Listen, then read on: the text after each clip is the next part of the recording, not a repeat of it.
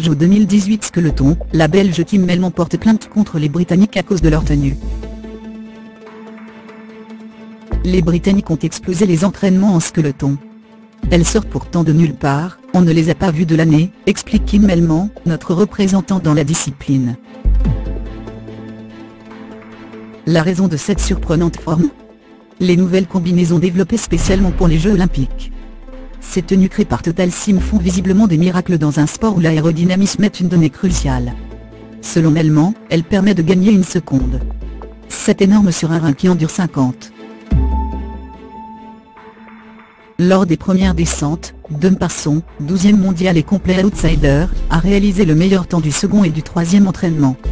Chez les femmes, Laura Dehan a claqué les deux chronos les plus rapides, suivie par sa compatriote Lizzie Arnold, qui était dans le dur ces derniers mois malgré son passé de championne olympique.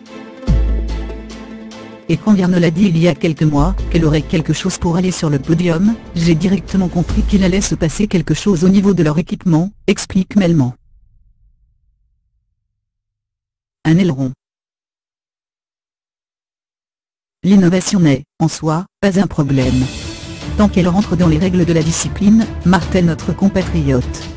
Et ici, au vu des photos, car je n'ai pas vu la tenue en vrai, je vois clairement un aileron dans ou sous leur combinaison. Une forme de tricherie qui l'a poussé, avec plusieurs autres pays, à porter plainte auprès de la fédération, pour qu'elle tranche sur la validité de cette combinaison, dont la technologie a fait des merveilles en cyclisme sur piste avec 12 médailles britanniques sur les deux dernières Olympiades. La compétition de skeleton féminin, débute vendredi à midi 20 et se déroule sur deux jours.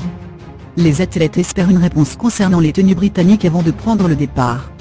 Si la fédération ne valide pas leur équipement, j'espère qu'ils ont prévu le coup sinon, ça risque d'être marrant, sourit Melman en conclusion.